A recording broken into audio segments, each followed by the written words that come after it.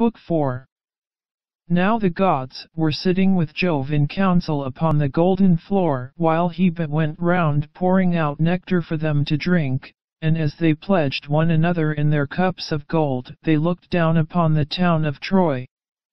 The son of Saturn then began to tease Juno, talking at her so as to provoke her. Menelaus, said he, has two good friends among the goddesses, Juno of Argos, and Minerva of Alalcomene, but they only sit still and look on, while Venus keeps ever by Alexandrus' side to defend him in any danger, indeed she has just rescued him when he made sure that it was all over with him, for the victory really did lie with Menelaus. We must consider what we shall do about all this, shall we set them fighting anew or make peace between them? If you will agree to this last Menelaus can take back Helen and the city of Priam may remain still inhabited. Minerva and Juno muttered their discontent as they sat side by side hatching mischief for the Trojans. Minerva scowled at her father, for she was in a furious passion with him, and said nothing, but Juno could not contain herself. Dread son of Saturn, said she, what, pray, is the meaning of all this? Is my trouble, then, to go for nothing, and the sweat that I have sweated, to say nothing of my horses, while getting the people together against Priam and his children? Do as you will, but we other gods shall not all of us approve your counsel. Jove was angry and answered, My dear, what harm have Priam and his sons done you that you are so hotly bent on sacking the city of Ilius? Will nothing do for you but you must within their walls and eat Priam raw, with his sons and all the other Trojans to boot? Have it your own way then, for I would not have this matter become a bone of contention between us. I say further, and lay my saying to your heart, if ever I want to sack a city belonging to friends of yours, you must not try to stop me, you will have to let me do it, for I am giving in to you sorely against my will. Of all inhabited cities under the sun and stars of heaven, there was none that I so much respected as Ilius with Priam and his whole people. Equitable feasts were never wanting about my altar, nor the savor of burning fat, which is honor due to ourselves. My own three favorite cities, answered Juno, are Argos, Sparta, and Mycenae. Sack them whenever you may be displeased with them. I shall not defend them and I shall not care. Even if I did, and tried to stay you, I should take nothing by it, for you are much stronger than I am, but I will not have my own work wasted. I too am a god and of the same race with yourself. I am Saturn's eldest daughter, and am honorable not on this ground only, but also because I am your wife, and you are king over the gods. Let it be a case, then, of give and take between us, and the rest of the gods will follow our lead. Tell Minerva to go and take part in the fight at once, and let her contrive that the Trojans shall be the first to break their oaths and set upon the Achaeans. The sire of gods and men heeded her words, and said to Minerva, Go at once into the Trojan and Achaean hosts, and contrive that the Trojans shall be the first to break their oaths and set upon the Achaeans. This was what Minerva was already eager to do, so down she darted from the topmost summits of Olympus. She shot through the sky as some brilliant meteor which the son of scheming Saturn has sent as a sign to mariners or to some great army, and a fiery train of light follows in its wake. The Trojans and Achaeans were struck with awe as they beheld, and one would turn to his neighbor, saying, Either we shall again have war and din of combat, or Jove the Lord of battle will now make peace between us. Thus did they converse. Then Minerva took the form of Laodocus, son of Antenor, and went through the ranks of the Trojans to find Pandarus, the redoubtable son of Lycaon. She found him standing among the stalwart heroes who had followed him from the banks of the Aesopus, so she went close up to him and said, Brave son of Lycaon, will you do as I tell you? If you dare send an arrow at Menelaus, you will win honor and thanks from all the Trojans, and especially from Prince Alexandrus. He would be the first to requite you very handsomely if he could see Menelaus mount his funeral pyre, slain by an arrow from your hand. Take your home aim then, and pray to Lycian Apollo, the famous archer, vow that when you get home to your strong city of Zelea you will offer a hecatomb of first-tealing lambs in his honor. His fool's heart was persuaded, and he took his bow from its case. This bow was made from the horns of a wild ibex which he had killed as it was bounding from a rock, he had stalked it, and it had fallen as the arrow struck it to the heart. Its horns were sixteen palms long, and a worker in horn had made them into a bow, smoothing them well down, and giving them tips of gold. When Pandarus had strung his bow he laid it carefully on the ground, and his brave followers held their shields before him lest the Achaeans should set upon him before he had shot Menelaus. Then he opened the lid of his quiver and took out a winged arrow that had not yet been shot, fraught with the pangs of death, he laid the arrow on the string and prayed to Lycian Apollo, the famous archer, vowing that when he got home to his strong city of Zelea he would offer a hecatomb of first-tealing lambs in his honor. He laid the notch of the arrow on the ox-hide bowstring, and drew both notch and string to his breast till the arrowhead was near the bow, then when the bow was arched into a half circle he let fly, and the bow twanged, and the string sang as the arrow flew gladly on over the heads of the throng. But the blessed gods did not forget thee, O Menelaus, and Jove's daughter, driver of the spoil, was the first to stand before thee and ward off the piercing arrow. She turned it from his skin as a mother whisks a fly from off her child when it is sleeping sweetly, she guided it to the part where the golden buckles of the belt that passed over his double cuirass were fastened, so the arrow struck the belt that went tightly round him. It went right through this and through the cuirass of cunning workmanship, it also pierced the belt beneath it, which he wore next his skin to keep out darts or arrows, it was this that served him in the best stead, nevertheless the arrow went through it and grazed the top of the skin, so that blood began flowing from the wound. As when some woman of Meonia or Caria strains purple dye onto a piece of ivory that is to be the cheek piece of a horse, and is to be laid up in a treasure house, many a knight is fain to bear it, but the king keeps it as an ornament of which both horse and driver may be proud even so, O Menelaus, were your shapely thighs and your legs down to your fair ankles stained with blood, when King Agamemnon saw the blood flowing from the wound he was afraid, and so was brave Menelaus himself till he saw that the barbs of the arrow and the thread that bound the arrowhead to the shaft were still outside the wound. Then he took heart, but Agamemnon heaved a deep sigh as he held Menelaus's hand in his own, and his comrades made moan in concert. Dear brother, he cried, I have been the death of you in pledging this covenant and letting you come forward as our champion. The Trojans have trampled on their oaths and have wounded you, nevertheless the oath, the blood of lambs, the drink offerings and the right hands of fellowship in which we have put our trust shall not be vain. If he that rules Olympus fulfill it not here and now, he will yet fulfill it hereafter, and they shall pay dearly with their lives and with their wives and children.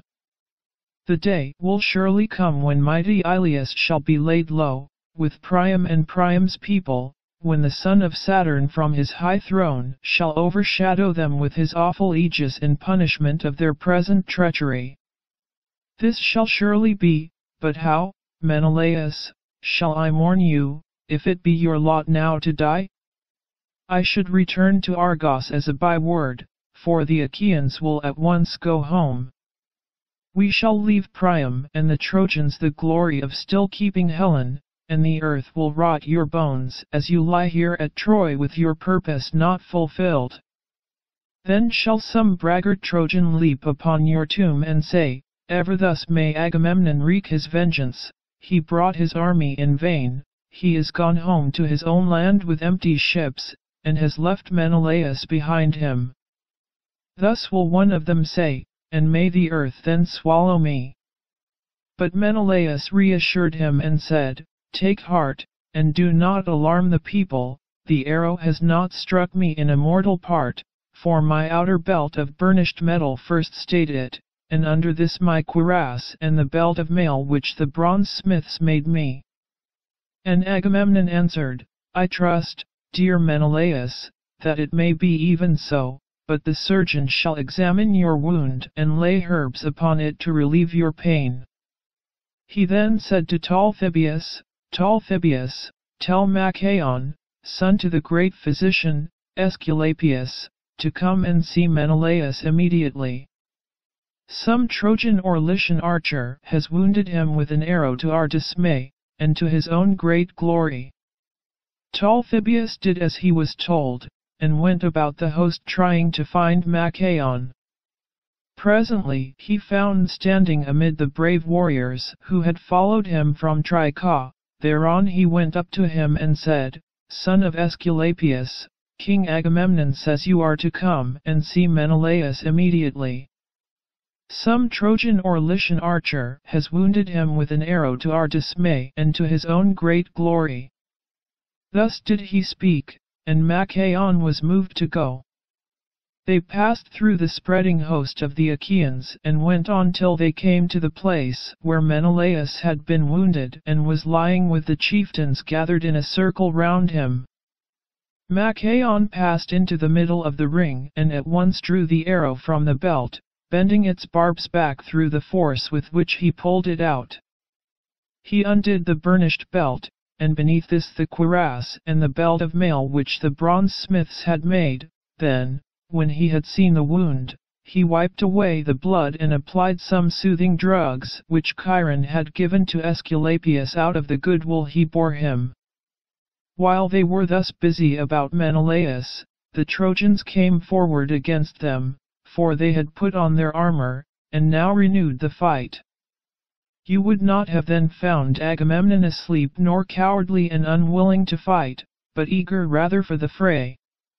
He left his chariot rich with bronze and his panting steeds in charge of Eurymedon, son of Ptolemaeus the son of Piraeus, and bade him hold them in readiness against the time his limbs should weary of going about and giving orders to so many, for he went among the ranks on foot. When he saw men hasting to the front he stood by them and cheered them on.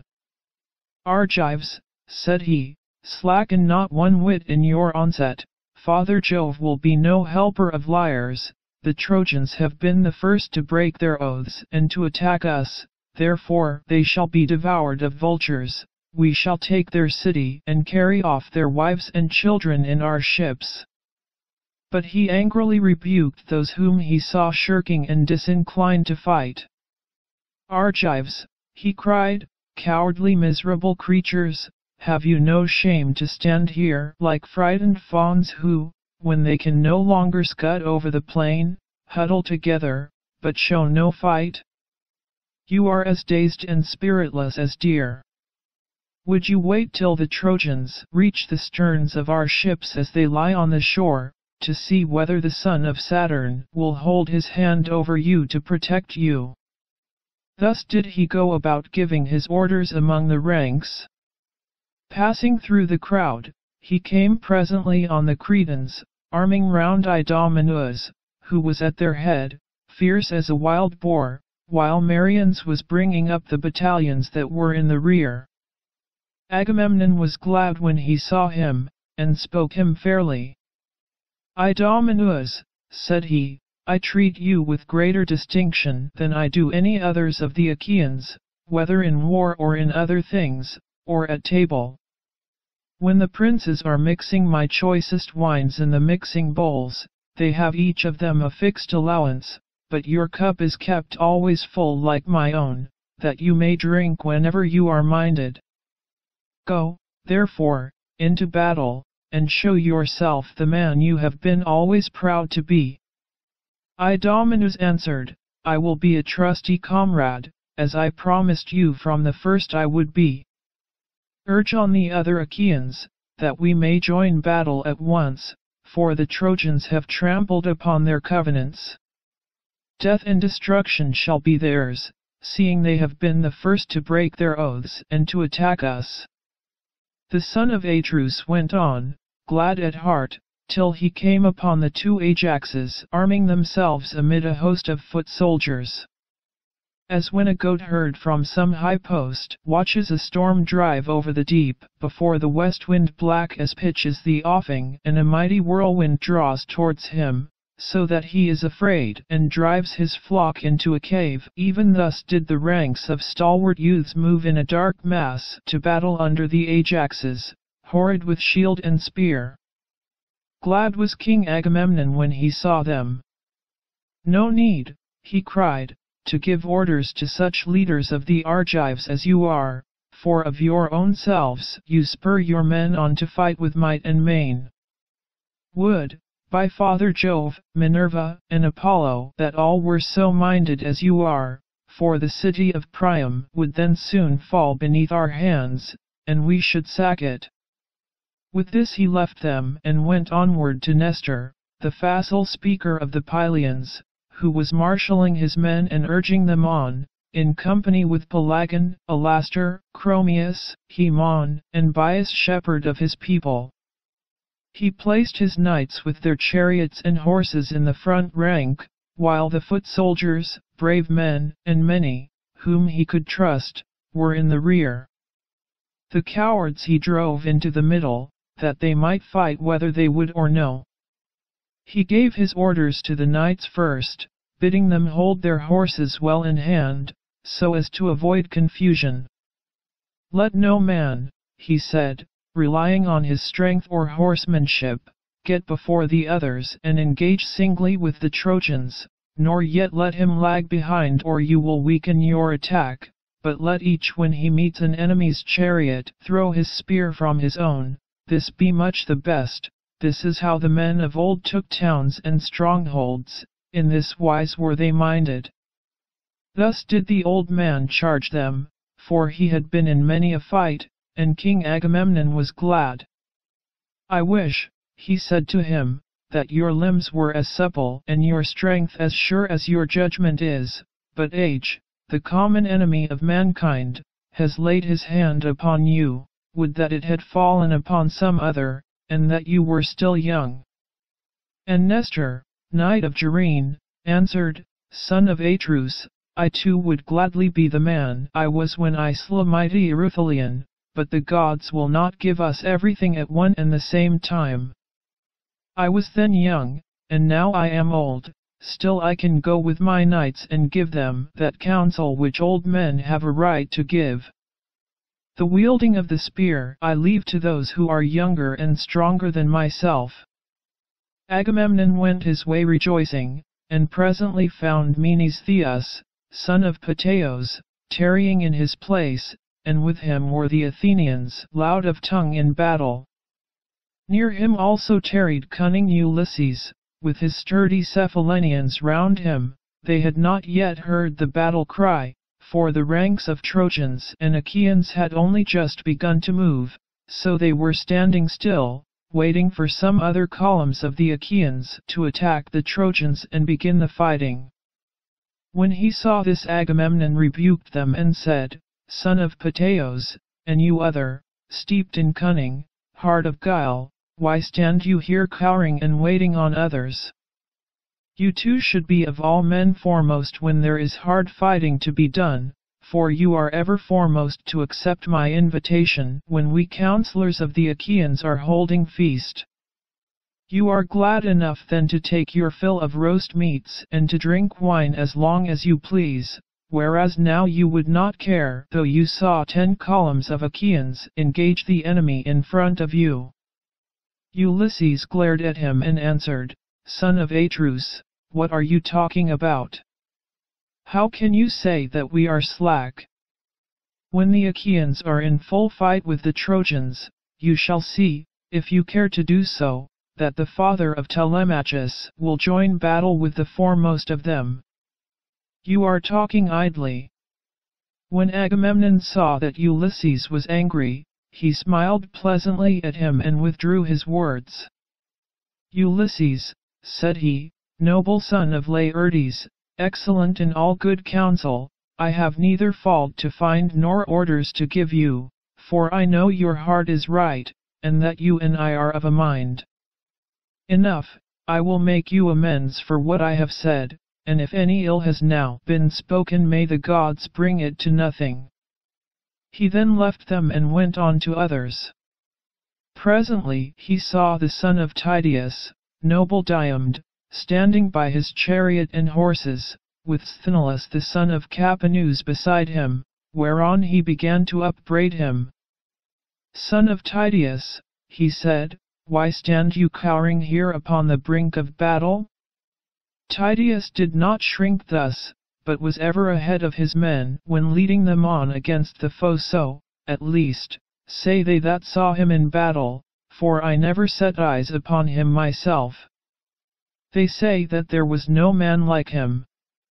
He came once to Mycenae, not as an enemy but as a guest, in company with Polynices to recruit his forces, for they were levying war against the strong city of Thebes, and prayed our people for a body of picked men to help them. The men of Mycenae were willing to let them have one, but Jove dissuaded them by showing them unfavorable omens. Tydeus, therefore, and Polynices went their way. When they had got as far the deep meadowed and rush-grown banks of the Aesopus, the Achaeans sent Tydeus as their envoy, and he found the Cadmeans gathered in great numbers to a banquet in the house of Eteocles.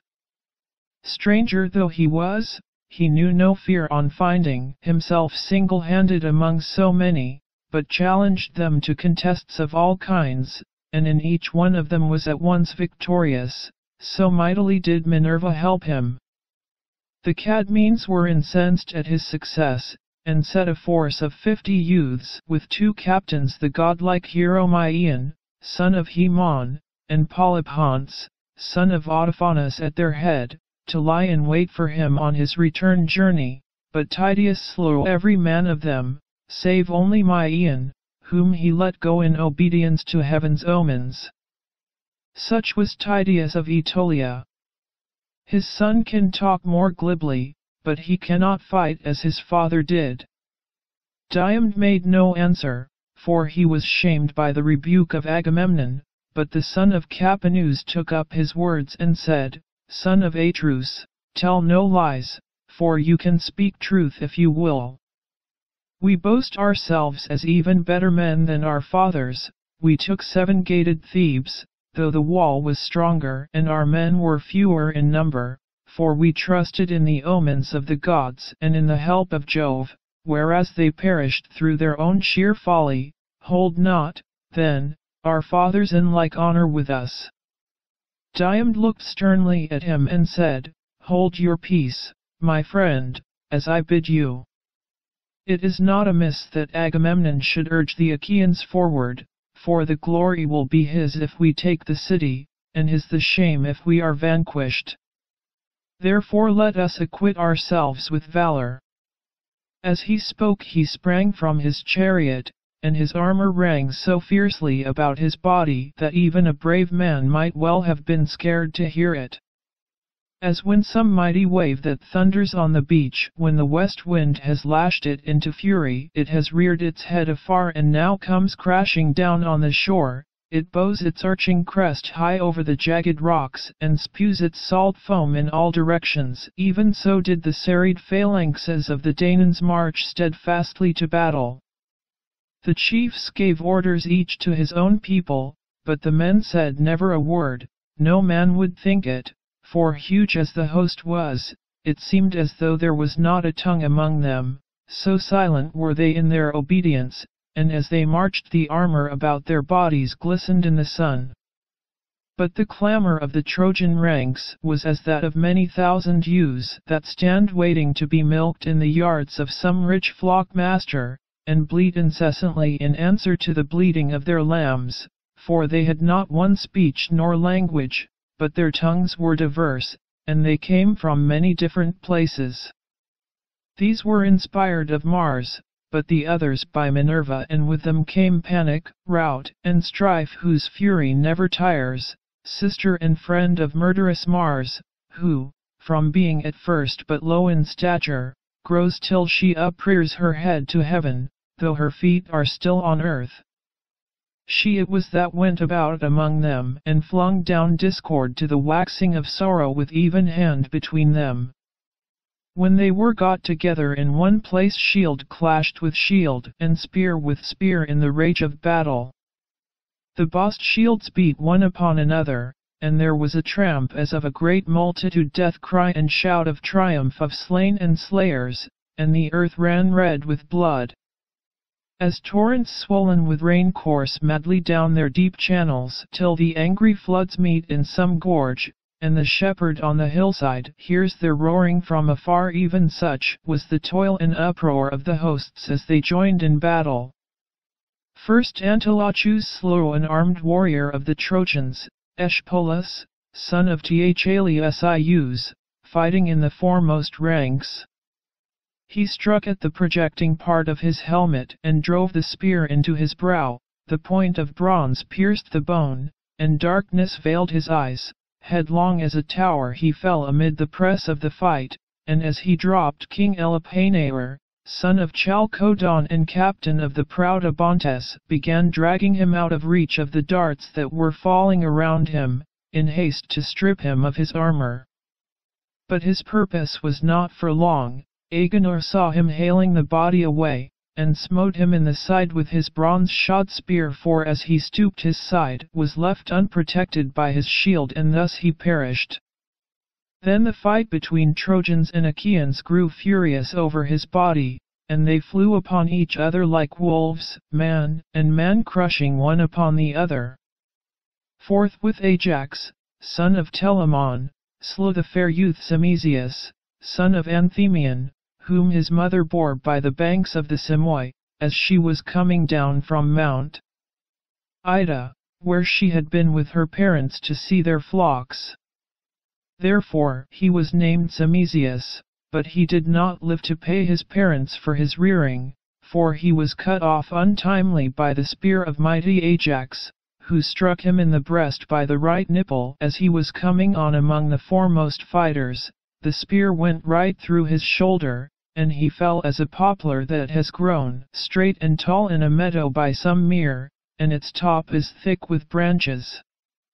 Then the wheelwright lays his axe to its roots that he may fashion a felloe for the wheel of some goodly chariot, and it lies seasoning by the waterside. In such wise did Ajax fell to earth Simoeisius, son of Anthemion.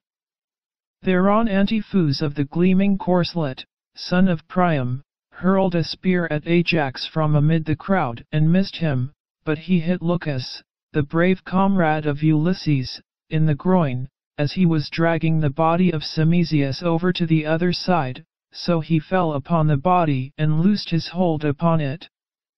Ulysses was furious when he saw Leucus slain, and strode in full armor through the front ranks till he was quite close, then he glared round about him and took aim, and the Trojans fell back as he did so. His dart was not sped in vain, for it struck Democoon, the bastard son of Priam, who had come to him from Abydos, where he had charge of his father's mares. Ulysses, infuriated by the death of his comrade, hit him with his spear on one temple, and the bronze point came through on the other side of his forehead. Thereon darkness veiled his eyes, and his armor rang rattling round him as he fell heavily to the ground. Hector, and they that were in front, then gave round while the Argives raised a shout and drew off the dead, pressing further forward as they did so. But Apollo looked down from Pergamus and called aloud to the Trojans, for he was displeased. Trojans, he cried, rush on the foe, and do not let yourselves be thus beaten by the Argives. Their skins are not stone nor iron that when hit them you do them no harm. Moreover, Achilles, the son of lovely Thetis, is not fighting, but is nursing his anger at the ships. Thus spoke the mighty god, crying to them from the city, while Jove's redoubtable daughter, the Trito-born, went about among the host of the Achaeans, and urged them forward whenever she beheld them slackening. Then fate fell upon Diores, son of Amarynceus, for he was struck by a jagged stone near the ankle of his right leg. He that hurled it was Peirous, son of Imbrasus, captain of the Thracians, who had come from Aenus, the bones and both the tendons were crushed by the pitiless stone. He fell to the ground on his back, and in his death throes stretched out his hands towards his comrades.